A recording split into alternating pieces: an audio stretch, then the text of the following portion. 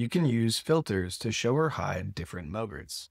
Portrait will show only vertical MOGRTs. Selecting landscape will show widescreen MOGRTs. You can tell the difference with this icon in the corner.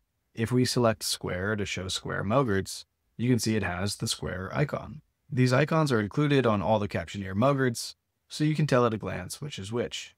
For best results, you should match your MOGRT dimensions to the dimensions of your sequence. So if you're editing a vertical sequence, use one of the portrait MOGRTs.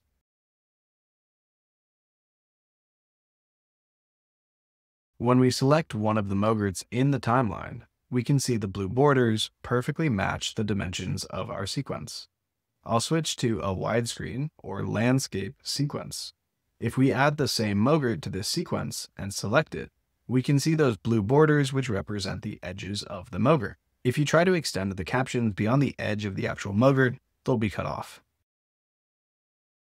We can change our filters so we only see widescreen or landscape MOGRTs and then I'll select the landscape version of the MOGRT and hit enter to redo my captions. We can see in the timeline those all got re-added. And now when I extended the graphics, they no longer get cut off. We can double click to select the MOGRT and see those blue edges matching our sequence. You can mix and match any MOGRTs with any sequence, but we've included these filters in all three dimensions of the Captioneer MOGRTs. I've tried to figure out what I need out of a space and what my type of recording looks like.